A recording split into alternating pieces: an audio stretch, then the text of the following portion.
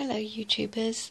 This is a bedtime poem reading for people who love poetry.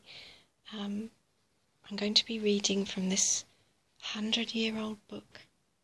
It's called The Oxford Book of English Verse.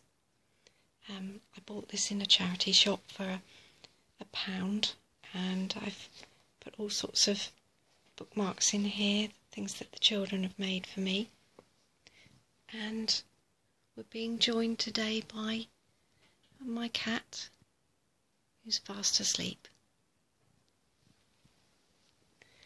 So, the poem I'm going to read today is by Robert Herrick, who was writing in the 17th century, and the poem's called To the Willow Tree. To the Willow Tree.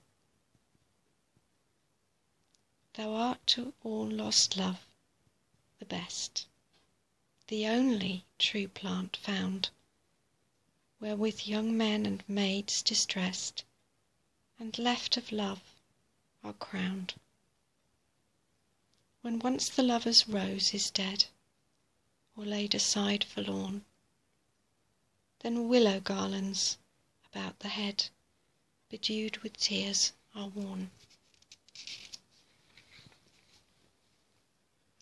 When with neglect the lover's bane Poor maids rewarded be, For their love lost, their only gain Is but a wreath from thee.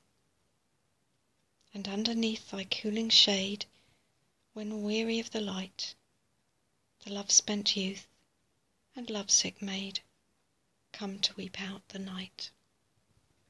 Thanks for listening. If you like it, I might read some more. Bye.